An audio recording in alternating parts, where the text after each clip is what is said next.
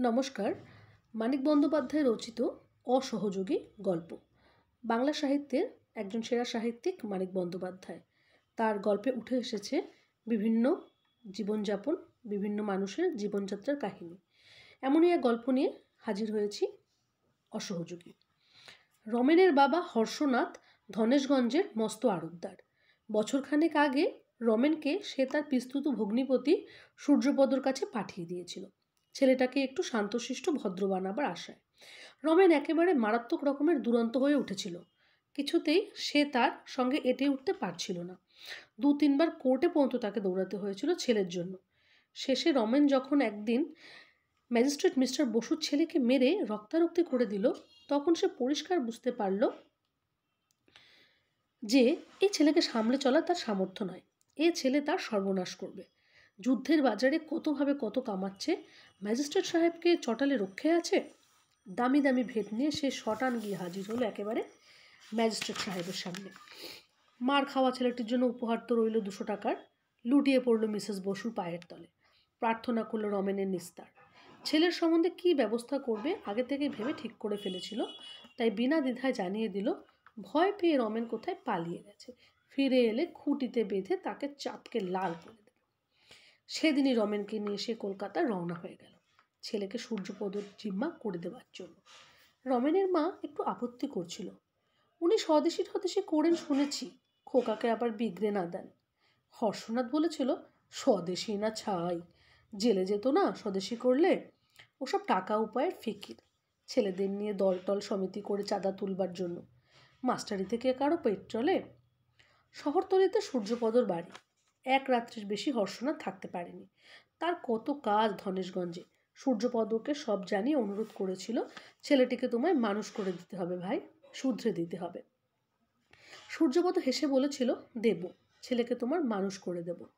একটা শর্ত করেছিল সূর্যপদ যে, এক বছরের মধ্যে রমেনকে ধনসগঞ্জে নেওয়া যাবে না, আর সোজাসুজি রমেনকে টাকা পাঠানো চলবে না। হর্ষনাথ রাজি হয়ে গিয়েছিল।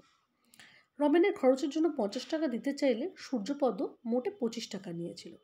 বলছিল, আমি গরিব মাস্টার, তোমার ছেলের খরচ চালাবার ক্ষমতা আমার নেই, কিন্তু পঁচিশ টাকার বেশি খরচও লাগবে না।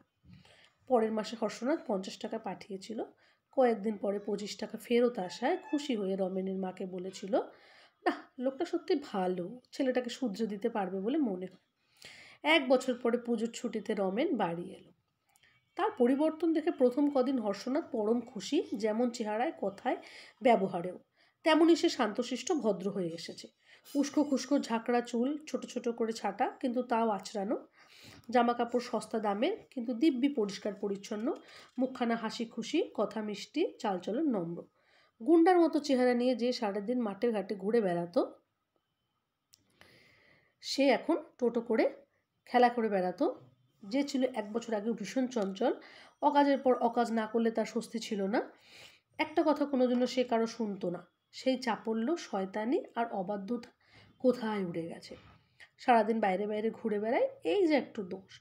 কিন্তু কোনো অপকর্মের খবর না পেয়ে এবং বাড়ি ফিরে ছেলের দেহে বা জামা কাপড়ে কোনো দুরন্ত পানার চিহ্ন না দেখে হর্ষনাথ নিশ্চিন্ত হয়।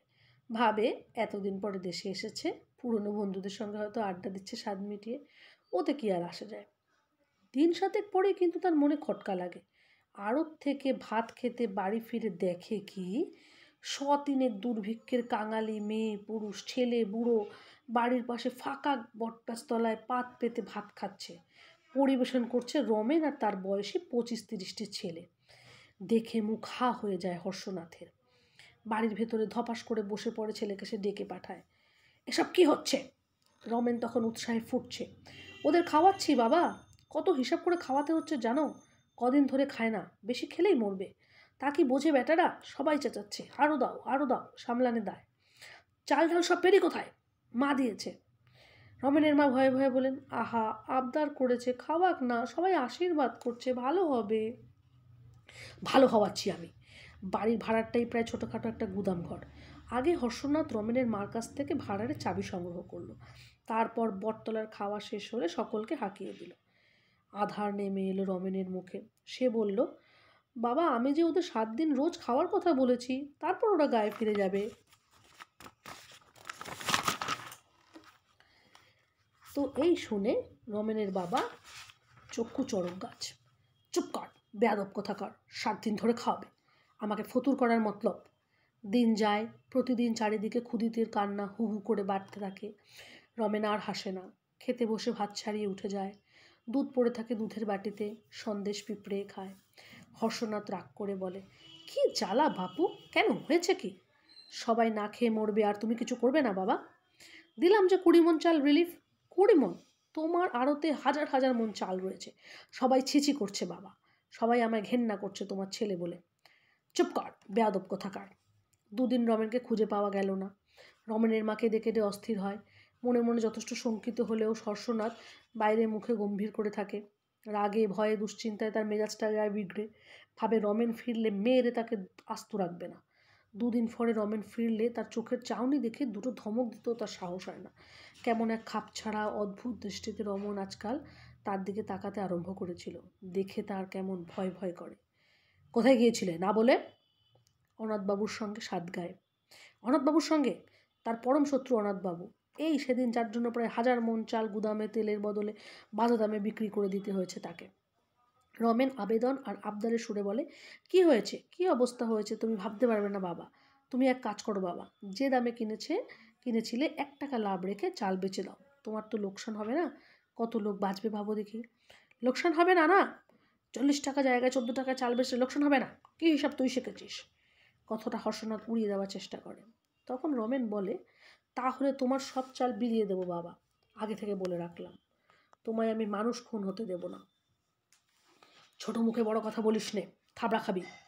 বলে রাখলাম, দেখো, ছেলে মানুষের হালকা কথা কে তা মনে রাখে? আড়তে তার কত লোকজন, গুদাম তালাবন্ধ চাইলে কি আর চাল বিলিয়ে দিতে পারবে রমেন? পঞ্চাশ জন বন্ধু আর অনাথবাবুকে সঙ্গে নিয়ে এলেও নয়। সেই জন্য হর্ষনাথবাবুর ভাবনা হলো না। ছেলের পাগলামি দেখে মনটা শুধু খারাপ হয়ে গেল। কি কুক্ষণে যে পাঠিয়েছিলাম ছেলেকে সূর্যপদের কাছে? এর চেয়ে ছেলেটা সন্তান গুন্ডা হলেও ভালো ছিল। বয়স বাড়লে আপনি শুধরে যেত। দিন কাতেক পরে হর্ষনাথ ব্যবসার কাজে তিন দিনের জন্য বাইরে গেল। আরতে বলে গেল, রমেন এসে গোলমাল করলে যেন ভালোভাবে শাসন করে দেওয়া হয়, আর অনাথ এসে হাঙ্গামা করলে যেন পুলিশ সেজে পুলিশ ডেকে ধরিয়ে দেওয়া হয়। একবার থানাটাও ঘুরে গেল। অনাথ কীভাবে তার ছেলের মাথা বিগড়ে দেওয়ার চেষ্টা করেছে জানিয়ে দেওয়ার জন্য। পরদিন সকালে আড়তেও আড়তের সামনে হৈ হৈ কাণ্ড শুরু হয়ে গেল। নিতাইচরণ আড়তের প্রধান কর্মচারী। বাবু নেই বলে আড়ত খুলে লোক পাঠিয়ে নিজে একটু বেলা করে হেলতে দুলতে এসে দেখে কি প্রায় শ পাঁচেক লোক জমা হয়েছে আড়তের সামনে।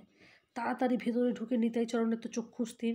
আড়তের যে কোণে হাজার হাজার টিন টিনে তেল ছিল পরশু পর্যন্ত, সেখানে মেঝেতে তেল আর ময়লার পুরু পাকের উপরই আড়তের উপর সবাই বসে আছে। তফাতে হর্ষনাথের দুনলা বন্দুক হাতে দাঁড়িয়ে রমেন। রমনের সমবয়সী ছেলেতে আরত বোঝাই। আসুন নিতাই কাকা, গুদামে চাবিটা দিন তো। চাবি? চাবি কোথায় পাবো? চাবি তো তোমার বাবার কাছে। তাহলে ওখানে গিয়ে বসুন, দরজা ভাঙতে হবে। রমেনের এক বন্ধু তার হাত ধরে নিয়ে গিয়ে তেল গাদায় ধপ করে বসিয়ে দেয়। রমেন বলে, এই বন্দুক নিয়ে একজনের ঠ্যাং খোড়া করে দিয়েছিলাম, মনে আছে তো? কেউ কোনো ফন্দি ফিকে চালাকের চেষ্টা করবে না। সত্যি সত্যি গুলি করে দেবো কিন্তু। সেইখানে দাঁড়িয়ে থেকে রমেন ওদের পাহারা দেয় সকাল থেকে সন্ধ্যা পর্যন্ত। দেড়শো ছেলে গুদাম থেকে চাল বার করে বিতরণ করে। কাছে ও দূরের অনেকগুলি দূর থেকে গা থেকে হাজার হাজার লোক আসে চালের জন্য। রমেন গায়ে গায়ে ঢেলা পিটিয়ে দিয়েছিল। পুলিশ দু চারজন আসে কিন্তু ঢুকবার চেষ্টা করে না। বরং ভিড় আর হাঙ্গামা নিয়ন্ত্রণে কিছু কিছু সাহায্যই করে। ভোরে রমেন নিজে গিয়ে থানায় খবর দিয়ে আসে, এসেছিল যে তার বাবা চাল বিতরণ করবেন। এই মর্মে বড় বড় কয়েকটা ইস্তাহারও আড়তের বাইরে টাঙিয়ে রেখেছিল। সন্ধ্যের সময় চাল শেষ হলো। খবর পেয়ে পরদিনই হর্ষণ ফিরে এলো। ছেলেকে সামনে রেখে গুম হয়ে রইল। তার কান্না পাচ্ছিল। এই হলো ছেলের অসহযোগিতা। ধন্যবাদ।